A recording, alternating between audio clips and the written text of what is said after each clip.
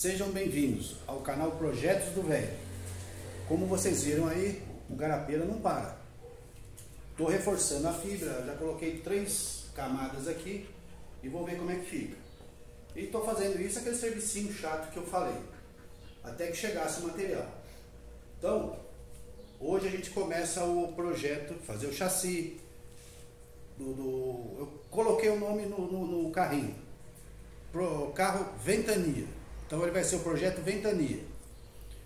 E antes que eu esqueça, queria agradecer ao Bordados Cassiano do Jefferson, que fez esses bordados aqui, numas camisetas nossa aí. Obrigado, Jefferson. Ele deve ter Instagram, Facebook. E chegou as peças. Ah, e para quem gosta de ferramenta, esses são os, os projetos futuros do projeto velho. Isso é uma frisadeira que eu vou modificar ela. Vai ser pouca coisa. E isso daqui é um projeto, não vou abrir borracharia. Se alguém adivinhar o que eu vou fazer com isso daqui, deixa nos comentários. E chegaram as peças. O mancal.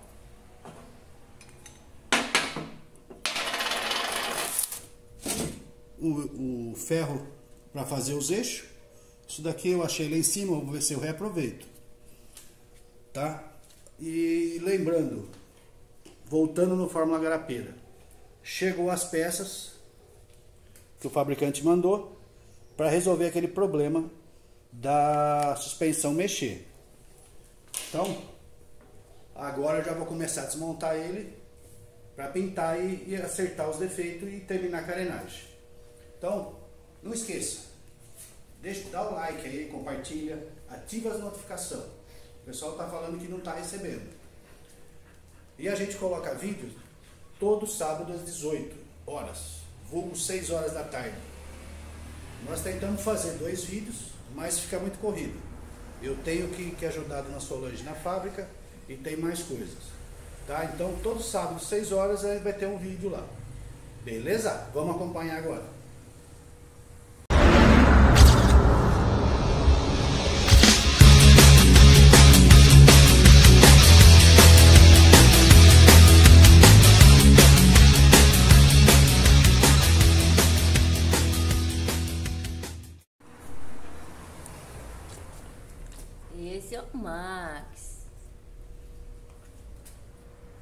Bom, rapaziada, vamos começar aqui. Esse é o projeto Ventania aí.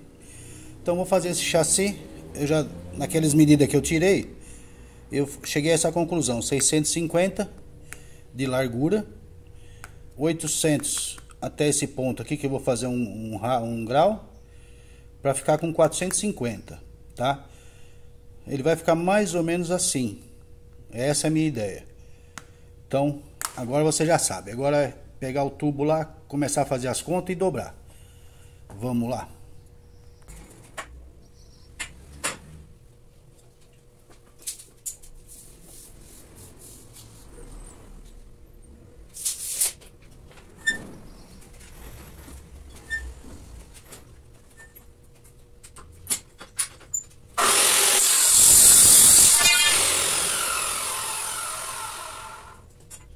rapaziada. Cortei o tubo lá. Eu vou colocar mais uma vez, acho que não custa nada. Tem um vídeo aí explicando como é que eu faço as dobras. Mas acho que, que pode ser útil aí. Então eu cortei o tubo com 4 metros. Tem 4 metros. Metade dele é 2. Então eu tenho a metade. Eu vou fazer uma. Eu quero que fique com esse arco de 650. Então, metade de 650, 325. 325 para cada lado. Tá? Aí o que, que vai acontecer? Como eu estou usando um tubo de uma polegada, eu tenho que descontar 25,4. Então ele vai ficar com mais ou menos 320. Tá? Então, eu vou marcar o meio, marcar 320 e vai ter que dar 650. E tem um detalhe que eu estava esquecendo. E pode ser uma útil também. Como eu uso. Deixa eu acender a, a lâmpada aqui. Como eu uso. Não sei se está dando para ver. Um tubo com costura. Está focando direito aí?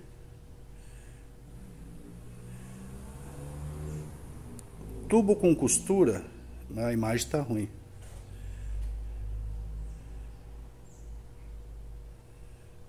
É, tá difícil aqui. Ó. Deixa eu ver aqui. Não sei se está dando para ver. Tubo com costura. Eu costumo fazer a dobra. Aqui está a costura, é onde tem um pontinho preto. Eu costumo fazer sempre a dobra ao contrário. Para esticar este lado, não esse que tem a costura. Então, eu vou pôr na máquina isso daqui vai ficar para lá e eu vou fazer a dobra nesse sentido, tá? Isso daí é uma, uma manhinha que a gente vai usando para ter mais resistência, porque o tubo com costura tem uma resistência boa, mas não é igual a um sem costura. Deixa eu ver se agora melhorou. Aqui, Opa. aqui, ó, tá vendo aqui? Isso é costura, é soldado. Então, às vezes, você dobra ele ao contrário, para cá, às vezes pode abrir e perde resistência. Que aqui já sofreu uma, uma, uma fadiga por causa da solda. Beleza? Vamos lá dobrar. Fiz a marcação aqui. Agora é tentar me ajeitar aqui que o espaço é pequeno.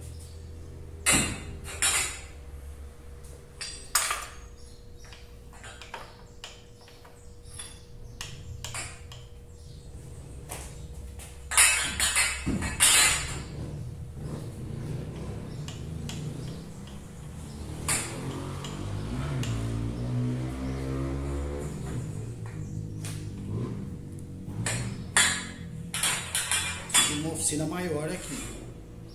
Marcação. Lembrando, a parte de solda para cá.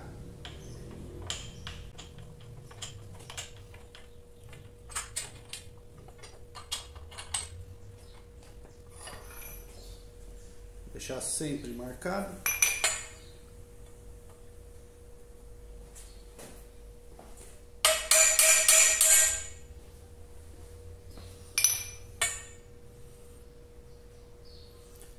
Certinho, ó.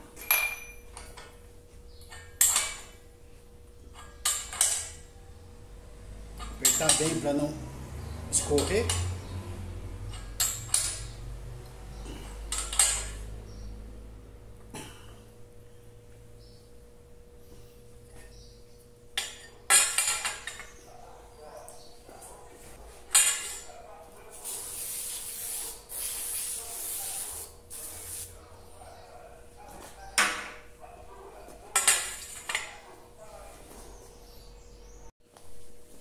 Fazer a dobra agora.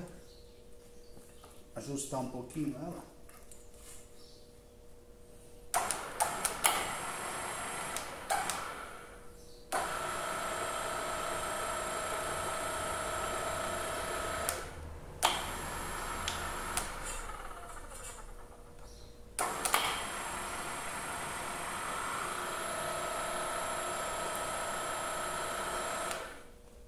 os quadros mais ou menos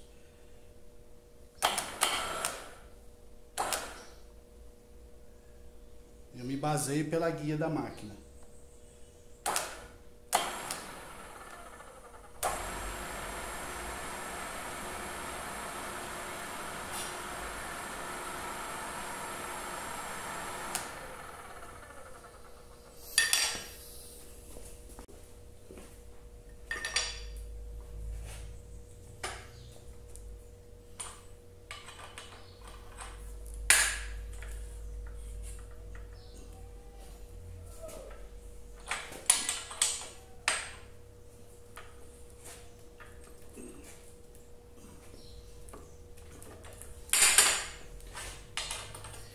trabalhar com peça grande é meio desengonçado às vezes.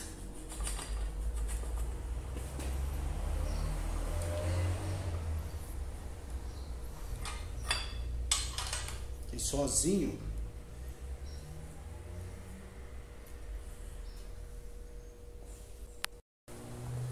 Vamos lá para outra dobra agora.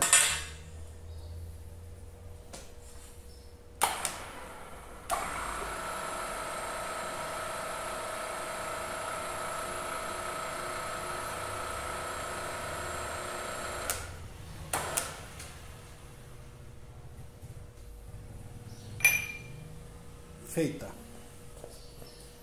Vamos ver como é que ficou. Rapaziada, eu cometi um erro aqui é, por falta de prestar atenção. Mas também foi bom que eu tenho um detalhe que eu vou mostrar para vocês. O que, que aconteceu? Era para ficar com 650. Ficou com 675. O que, que aconteceu? Aumentou 25 milímetros. Por que isso? Deixa eu pegar aqui. Aqui, ó, vamos simular o tubo que eu ia dobrar. Fiz a marcação. Então tá, 350, 300, uh, 300 e 300. Eu quero com 650. Quando você vier na máquina, de um lado você põe aqui com essa marcação, para fora. Quando fizer a dobra, você vem com a outra parte, ela tem que ficar ao contrário, para te dar a, a, medida certa. Beleza? Então ela ficou com 675. Não tem problema aqui, porque eu estou começando o projeto. Mas, às vezes você está fazendo uma peça sob medida, você erra nisso daí. Beleza? Se vocês não entenderam, deixa nos comentários, eu vou tentar ajudando vocês aí. E vamos partir pro próximo aí. Ready? Cadê Fanny? Aqui. Aqui. Aqui. Ah, menina. Rapaziada, você vai ficar olhando pra mim? Vamos passear? Vamos. Oh, bom, rapaziada, eu já fiz aqui, ó, um esboço. Tô simulando o cavalete para ver qual as medidas que eu tenho que fazer para colocar o mancal, que vai assim.